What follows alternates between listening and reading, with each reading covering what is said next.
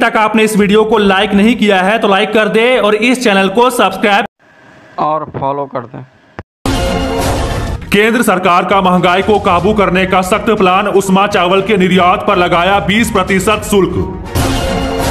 मैं भगवंत मान के खिलाफ केस कर सकता हूँ पंजाब गवर्नर ने सीएम को दी लास्ट वार्निंग झारखंड में अब होगी एफआईआर की राजनीति बाबूलाल मरांडी पर पांचवा केस दर्ज बीजेपी नेता ने हेमंत सोरेन पर बोला हमला।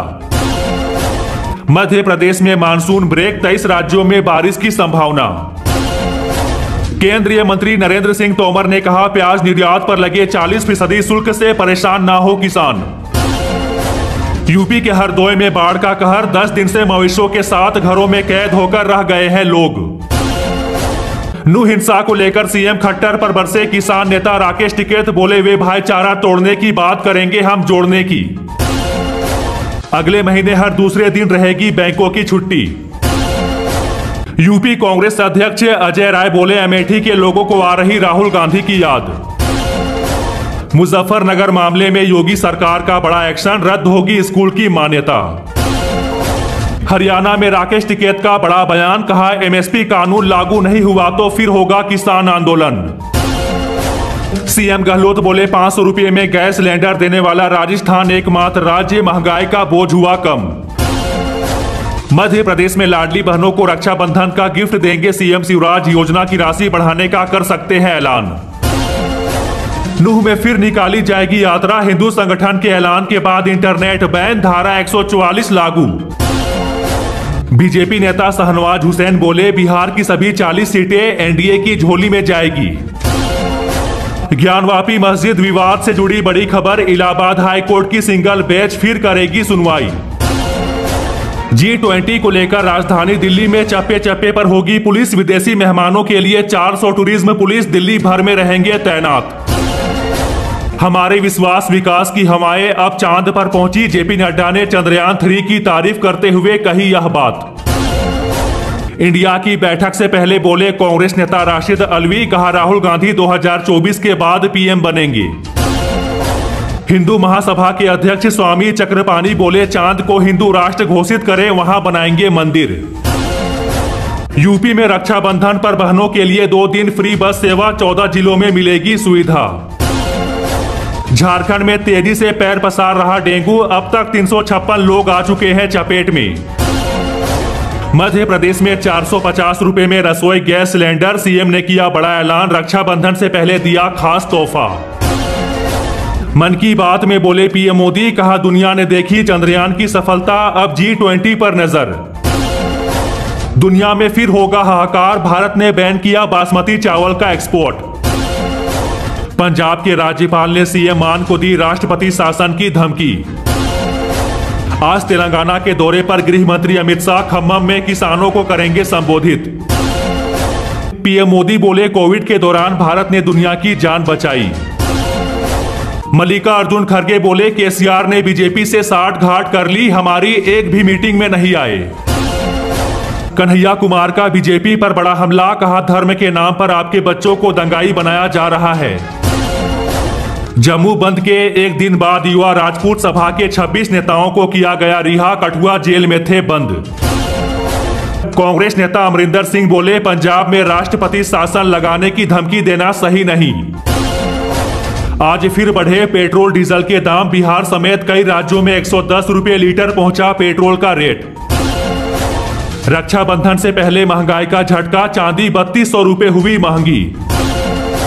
जी ट्वेंटी की बैठक की तैयारियों का जायजा लेने पैदल निकले दिल्ली के एलजी वी के सक्सेना।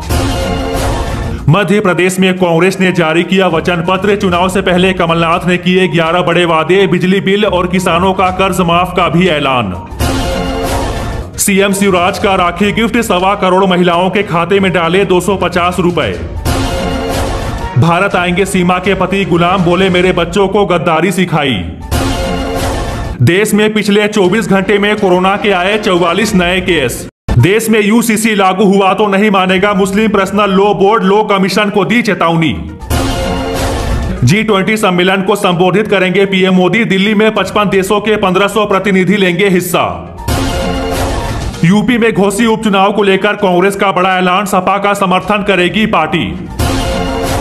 प्याज की कीमतों पर काबू पाने के लिए सरकार ने उठाया कदम, चार दिन में की 28 टन की खरीद। मुंबई में फिर होगा महाजुटान 27 दलों के नेता होंगे शामिल, इंडिया को मिलेगा कोमल लोगो। बीजेपी ने सीएम ममता बनर्जी पर किया हमला, कहा बंगाल में पाकिस्तान को पसंद करने वाली सरकार। तेजस्वी यादव ने केंद्र पर बोला हमला, कहा विकास में बिहार अव्वल, बीजेपी राज में देश, बांग्लादेश से भी पीछे। बीजेपी की फीडबैक रिपोर्ट में दावा, गहलोत पायलट के बीच नहीं खत्म हुआ झगड़ा। समस्तीपुर कोर्ट परिसर में हुई फायरिंग पर सुशील मोदी ने सीएम नीतीश को घेरा, बोले बिहार को भगवान के भरोसे छोड़ दिया। महाराष्ट्र पर पड़ने वाली है महँगाई की मार, एक सितंबर से तीन रुपए बढ़ जाएँगे दूध के दाम। 50 शिक्षकों को मिलेगा राष्ट्रीय शिक्षक अवार्ड, राष्ट्रपति मुर्मू 5 सितंबर को करेगी सम्मानित। दिल्ली एनसीआर में फिर बढ़ेगी तपीस उनचालीस डिग्री के पार पहुंचेगा पारा। अगले सात दिन तक बारिश नहीं। अशोक गहलोत का बड़ा दावा, कहा 2024 में कांग्रेस की ओर से पीएम पद का चेहरा होंगे राहुल गांधी। समस्तीपुर कोर्ट में हुई फायरिंग पर सम्राट चौधरी ने सीएम नीतीश पर बोला हमला, बोले उनसे नहीं संभल रहा राज्य। अनुराग ठाकुर का बड़ा हमला, कहा कांग्रेस के लिए परिवार फ़र्स्ट, हमारे लिए नेशन वैज्ञानिक फ़र्स्ट। जी ट्वेंटी सम्मेलन को लेकर 160 उड़ाने रद्द 1000 रक्षा करेंगे मेहमानों की सुरक्षा।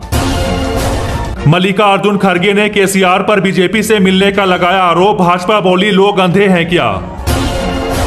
महुआ मोइत्रा का पीएम मोदी पर हमला, कहा, बीजेपी 2024 में इसरो को बनाएगी कैंपेन टूल। विपक्षी एकजुटता की कोशिश को झटका, आम आदमी पार्टी ने किया बिहार विधानसभा चुनाव लड़ने का ऐलान। बीएचपी का बड़ा ऐलान, कहा परमिशन मिले या ना मिले, नू में निकलकर रहेगी यात्रा। सरकारी बैंकों के प्रमुखों का बढ़ जाएगा कार्यकाल, रिटायरमेंट की उम्र बढ़ाने पर हो रहा विचार। सर्वे में चौंकाने वाला खुलासा, केवल दो फ़ीसदी सीनियर सिटीजन के पास है हेल्थ इंश्योरेंस। गरीबों के लिए काम कर रही सरकार बी ट्वेंटी समिट में बोले पीएम मोदी, कहा भारत में होगा सबसे बड़ा मिडिल क्लास। सितंबर के पहले सप्ताह में लॉन्च होगा आदित्य एलवन मिशन। इसरो प्रमुख बोले दो दिन के भीतर होगा तारीख का ऐलान। महाराष्ट्र के सीएम एकनाथ शिंदे का वादा, अगले ढाई साल में मुंबई की सड़कें गड्ढों से होगी मुक्त। यूपी के उन्नाव में खतरे के निशान से 21 सेंटीमीटर ऊपर बह रही गंगा, पलायन को मजबूर हुए लोग। हैदराबाद में बोले खरगे कहा, अमित शाह रिपोर्ट कार्ड मांगे तो कहिए कि इसरो कांग्रेस ने बनाया। झारखंड के सीएम हेमंत सोरेन पर भड़के बाबूलाल मरांडी, बोले, मेरी आवाज़ नहीं दबेगी एक एक पैसे का हिसाब होगा। उत्तराखंड दौरे पर पहुँचे बीजेपी राष्ट्रीय अध्यक्ष जेपी नड्डा, लोकसभा चुनाव को लेकर होगी अहम चर्चा। सीएम एकनाथ सिंधे का दावा, कहा, देवेंद्र फडणवीस को जेल भेजना चाहती थी एमवीए सरकार लगाए थे झूठे आरोप।